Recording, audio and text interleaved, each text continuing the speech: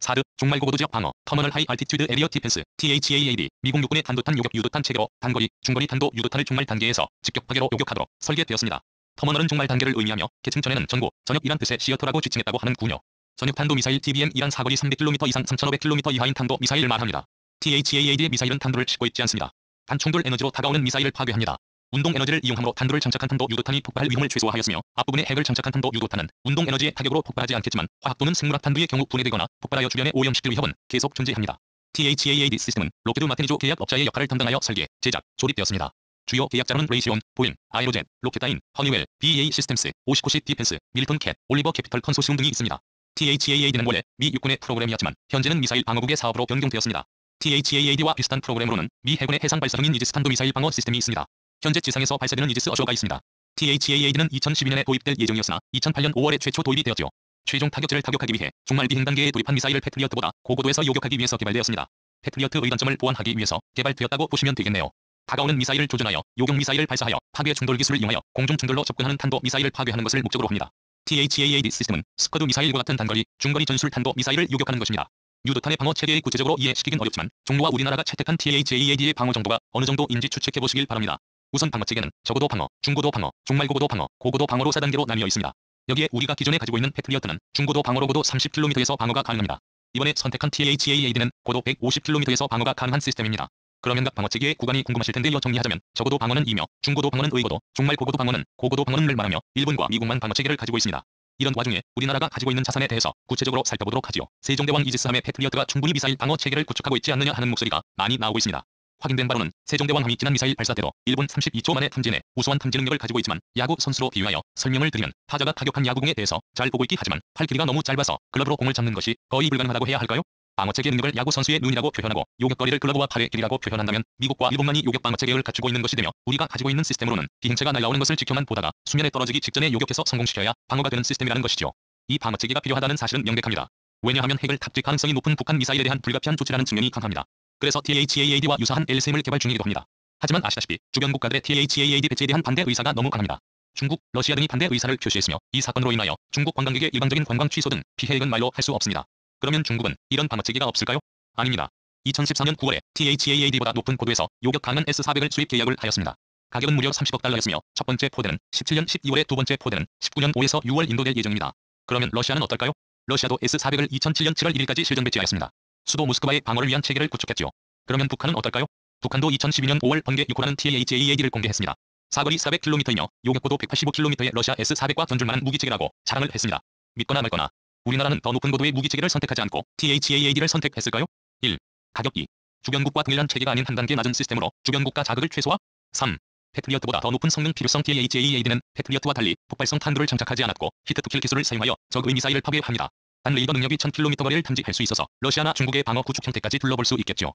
한국은 그런 능력이 없으니 미국에서 모든 정보를 구축할 수 있을 것입니다. 그런 부분이 중국과 러시아, 일본이 꺼려하는 부분일 것입니다. 우리에게 필요한 부분은 바로 자체 기술력이 필요합니다. 먼저 통일이 된다고 하여도 이런 모든 기술이 필요하지 않을까요? 이 사드 문제가 하루 빨리 해결되길 바랍니다. 사드로 인하여 미국과의 관계도 흔들리고 있는 지금 정확한 판단과 결정이 필요하겠네요. 감사합니다. 사드, 종말고고도 지역 방어, Terminal High Altitude Area Defense, THAAD, 미국 육군의 탄도탄 요격 유도탄 체계로 단거리, 중거리 탄도 유도탄을 종말 단계에서 직격 파괴로 요격하도록 설계되었습니다. terminal은 종말 단계를 의미하며 개칭 전에는 전고, 전역이란 뜻의 theater라고 지칭했다고 하는군요. 전역 탄도 미사일 TBM 이란 사거리 300km 이상 3500km 이하인 탄도 미사일을 말합니다. THAAD의 미사일은 탄두를 싣고 있지 않습니다. 단총돌 에너지로 다가오는 미사일을 파괴합니다. 운동 에너지를 이용함으로 탄두를 장착한 탄도 유도탄이 폭발할 위험을 최소화하였으며 앞부분에 핵을 장착한 탄도 유도탄은 운동 에너지의 타격으로 폭발하지 않겠지만 화학 또는 생물학 탄두의 경우 분해되거나 폭발하여 주변에 오염시킬 위험은 계속 존재합니다. THAAD 시스템은 록히드 마틴이 주 계약업자의 역할을 담당하여 설계, 제작, 조립되었습니다. 주요 계약자로는 레이시온, 보잉, 아이로젯, 로켓다인, 허니웰, BAE 시스템스, 오시코시 디펜스, 밀턴 캣, 올리버 캐피털 컨소시움 등이 있습니다. THAAD는 원래 미 육군의 프로그램이었지만 현재는 미사일 방어국의 사업으로 변경되었습니다. THAAD와 비슷한 프로그램으로는 미 해군의 해상 발사형인 이지스 탄도 미사일 방어 시스템이 있습니다. 현재 지상에서 발사되는 이지스 어쇼어가 있습니다. THAAD는 2012년에 도입될 예정이었으나 2008년 5월에 최초 도입이 되었죠. 최종 타격지를 타격하기 위해 종말 비행 단계에 돌입한 미사일을 패트리어트보다 고고도에서 요격하기 위해서 개발되었습니다. 패트리어트 의 단점을 보완하기 위해서 개발되었다고 보시면 되겠네요. 다가오는 미사일을 조준하여 요격 미사일을 발사하여 파괴 충돌 기술을 이용하여 공중 충돌로 접근하는 탄도 미사일을 파괴하는 것을 목적으로 합니다. THAAD 시스템은 스커드 미사일과 같은 단거리, 중거리 전술 탄도 미사일을 요격하는 것입니다. 유도탄의 방어 체계의 구체적으로 이해시키긴 어렵지만 종류와 우리나라가 채택한 THAAD의 방어 정도가 어느 정도인지 추측해 보시길 바랍니다. 우선 방어 체계는 저고도 방어, 중고도 방어, 종말고고도 방어, 고고도 방어로 4단계로 나뉘어 있습니다. 여기에 우리가 기존에 가지고 있는 패트리어트는 중고도 방어로 고도 30km에서 방어가 가능합니다. 이번에 선택한 THAAD는 고도 150km에서 방어가 가능한 시스템입니다. 그러면 각 방어 체계의 구간이 궁금하실 텐데 요. 정리하자면 저고도 방어는 이며 중고도 방어는 의고도, 종말고고도 방어는 고고도 방어는를 말하며 일본과 미국만 방어 체계를 가지고 있습니다. 이런 와중에 우리나라가 가지고 있는 자산에 대해서 구체적으로 살펴보도록 하지요. 세종대왕 이지스함의 패트리어트가 충분히 미사일 방어 체계를 구축하고 있지 않느냐 하는 목소리가 많이 나오고 있습니다. 확인된 바로는 세종대왕함이 지난 미사일 발사 때도 1분 30초 만에 탐진해 우수한 탐지 능력을 가지고 있지만 야구 선수로 비유하여 설명을 드리면 타자가 타격한 야구공에 대해서 잘 보고 있기 하지만 팔 길이가 너무 짧아서 글러브로 공을 잡는 것이 거의 불가능하다고 해야 할까요?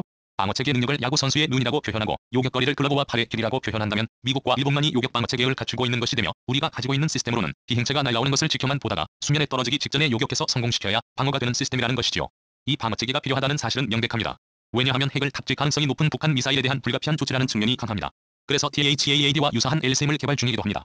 하지만 아시다시피 주변 국가들의 THAAD 배치에 대한 반대 의사가 너무 강합니다.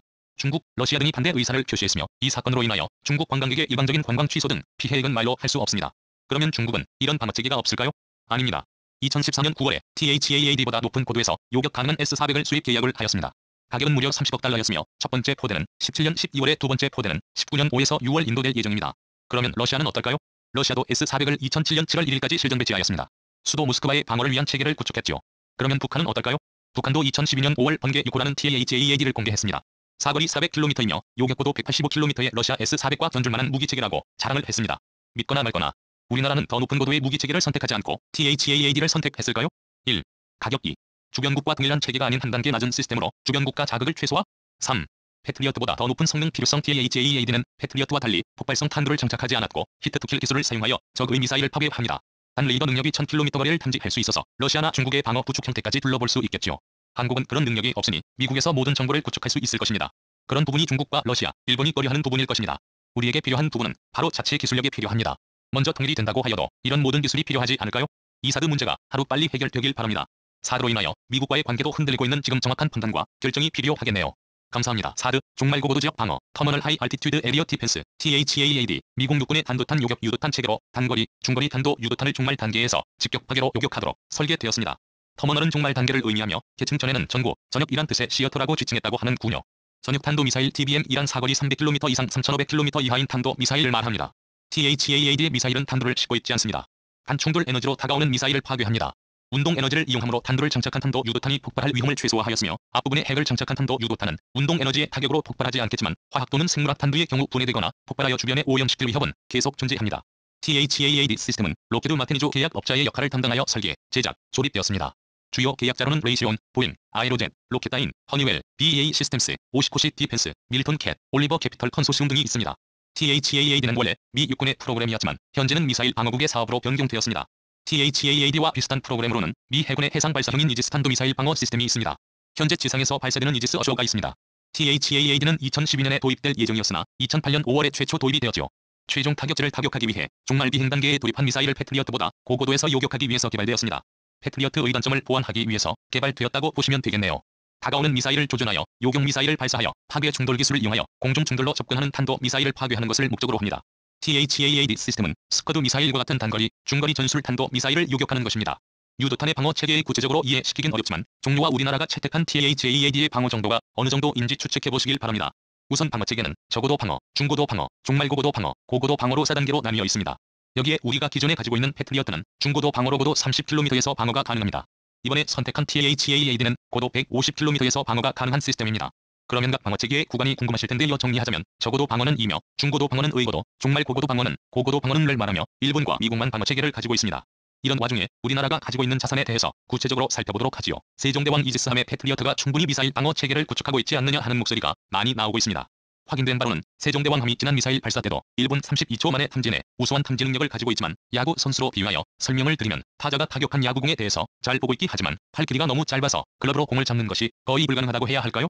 방어체계 능력을 야구 선수의 눈이라고 표현하고 요격거리를 글러브와 팔의 길이라고 표현한다면 미국과 일본만이 요격 방어체계를 갖추고 있는 것이 되며 우리가 가지고 있는 시스템으로는 비행체가 날아오는 것을 지켜만 보다가 수면에 떨어지기 직전에 요격해서 성공시켜야 방어가 되는 시스템이라는 것이지요.